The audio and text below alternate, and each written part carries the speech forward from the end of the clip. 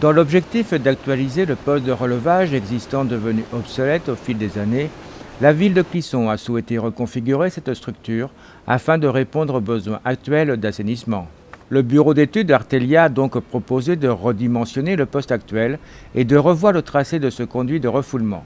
Cette dernière repose à environ 4 mètres de profondeur sous le lit de la rivière. Euh, ça c'est un gros chantier, pourquoi? Parce qu'ici on avait des sources d'odeur, on avait euh, une station de relevage là qui était obsolète.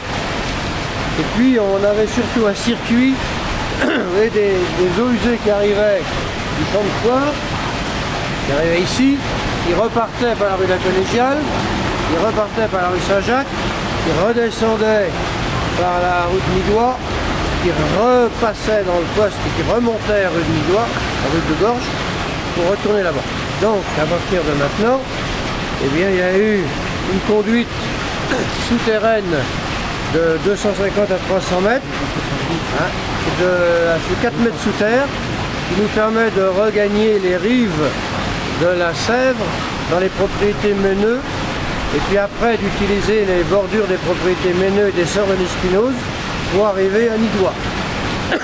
Donc ça, c'est une technique qui a été menée par l'entreprise Gendris, euh, sous-traitante d'elle, de manière à faire ce travail. C'est les mêmes qui avaient fait le passage sous la rivière, euh, là-bas à Dorche.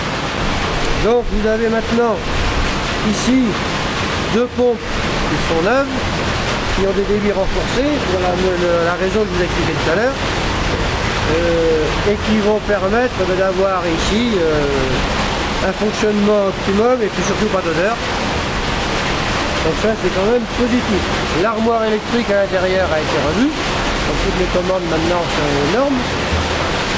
Et, donc on a tout pour bien fonctionner, mais néanmoins il reste des travaux à faire puisque le réseau unitaire de la ville n'est pas complètement résolu. Et comme la police de l'eau avait refusé la pose de dans le de, la Sèvre, donc il, a fallu trouver une autre solution pour amener euh, les étudiants en Idois de 300 cubes par, par la ville. Donc on a trouvé cette solution de forage dirigé, hein, qui est un peu, là c'était un peu délicat. il fallait partir très profond ici, passer au niveau le pont, euh, l'ancien pont, la pont de la ville, on a passé euh, entre les deux arches, retrouver l'axe de la rivière et revenir après dans la propriété de l'île. Ça, c'est la technique de forage dirigé. C'est-à-dire que vous avez une tête qui, euh, se dirige en XYZ. Voilà. Donc effectivement l'entreprise a eu quelques soucis, que le premier tir euh, s'est arrêté à 100 mètres, donc il a fallu euh, refaire un deuxième tir qui s'est avéré euh, Coût des travaux, 57 000 euros pour l'entreprise Bremo et Pur et SAD concernant le poste Mathurin-Crucy, avec le pavage qui a été refait et 199 000 euros pour DLE concernant le forage et les conduits.